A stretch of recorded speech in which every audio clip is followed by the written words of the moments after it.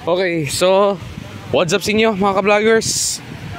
Yan, ma-update yung dito sa Boracay. So time check is now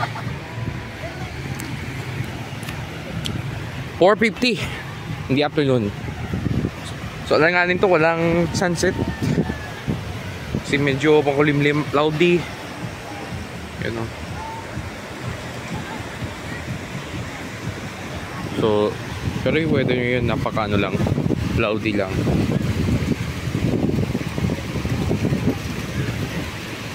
Ayan, Willis Rock. Dito tayo ngayon sa White Beach ngayon ng the beautiful island of White Beach. So mapapansin ninyo mga, mga ka-vloggers, wala ditong lumot. Pero pagdating mo doon sa may station 2, doon papunta sa may emergency, doon yung mga lumot, yung mga algae. So, nakita ko nung last ano yata, last, that was last, before the Atitian Festival here in Boracay. Mm. So, yun yung update ngayon dito. Nakalakad muna tayo. Habang ano, habang hindi pa lumulubog ang araw. Sunset ngayon is 5.30 yata. So, yan, Parao Beach Club. Ayan. Lakad-lakad muna tayo. And ayan yung yung big tree ng Elizalde. Ayan, lakad-lakad muna. By the way guys, yung mga dito, mga vloggers, um, tawag dyan oh um, wait lang. By the way sa mga pupunta ng Boracay um, ulitin ko ulit na may natatanong sa akin na about sa vaccination card sa QR code.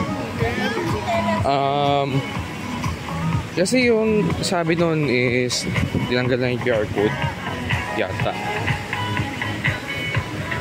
Then pwede naman kayo magpagkita vaccination card kung ano, kung ano ninyo.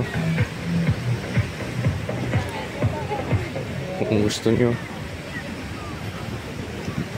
Okay, so shout out pala. Yan, peace reveal muna. Sige, mamaya siguro may piece reveal. So, shout out pala kay Ma'am Anet, Sir Ryan, here in Boracay. Hindi sila ngayon sa Boracay. Yan, kasama na kasama nila ano yan, RM nila Sergio. Grabe. So, yun, nag-celebrate sila ng atetihan dito sa Boracay. Dito sila celebrate ng New Year. So, nakita naman natin sa previous vlog natin, yung year-end vlog natin last year. For the 2022 ends. So, napakaganda yung 2023. Kasi, yun ang ang daming tao.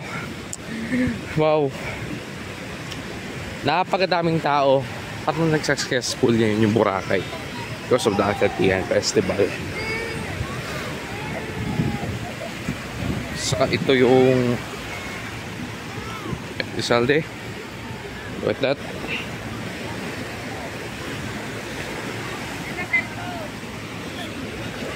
Maglalakad muna tayo.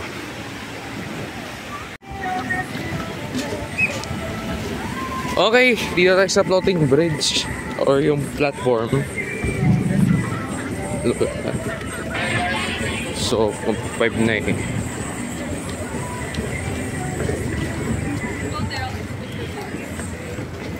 That. So, lahat ng mga speedboat. Ayan. So, parang yung last trip ng parasail, yung parasail, is 5 o'clock yata. Ayan yung globo. Ayan.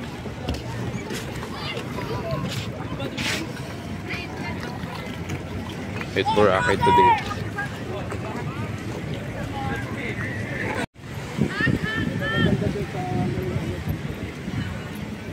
Napakadaming yun paraw. Wow. Napakadaming paraw. Makita nyo yan. Doon sa may dimol, ang dami yung tao.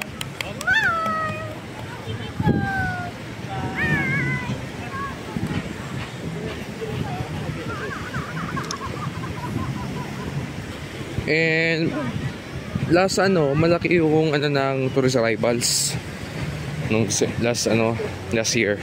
That was December. So maabot siya na ano, basta nandiyan siya sa ano, nasa ah, video natin yung picture. So kita nyo yan with that.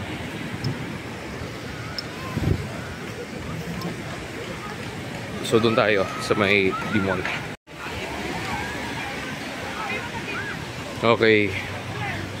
Dito tayo ngayon sa ano na Station 2. Yan yung hinagsasan. So medyo malakas doon sa likod. Sa Ulabog Beach. Doon sa may Puka Beach din. And same also with Balinghay. Yata. Kasi yan yung mga party boat to. Party yacht. Diyan. So may may ano banda. So yan yung ano eh, yung coral garden. You know. Ayan napakadaming yung tao. Dito sa Boracay.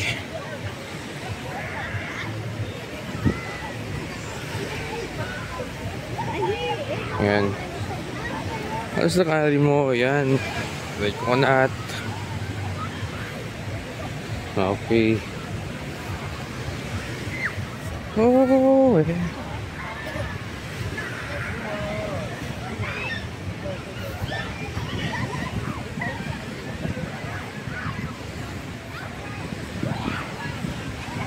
Okay.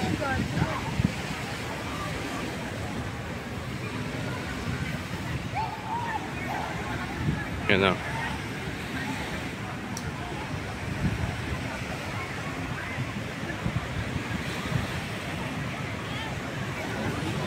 Ayan, Epic Bar, Aria.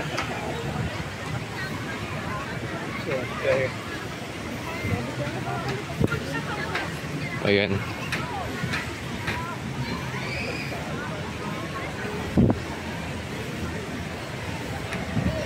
May sitwasyon ngayon dito sa isla ngayon. Napakadami ng tao.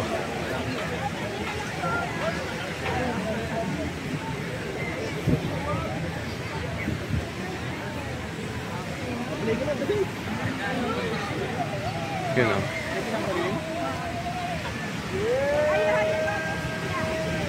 Tuloy na yan.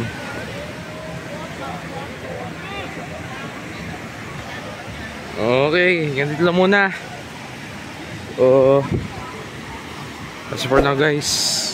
Dito lang muna. So, thank you for watching mga ka-vlogger. So, see you next vlog mga beautiful. Alright, see you later. So, please don't forget to like and share, subscribe sa yung notification bell para malaman niyo kung ano updates for daily vlogs sa Pinisir all over Boracay ng Philippines. Ganito lang muna. So, see you next vlog mga beautiful. Boracay.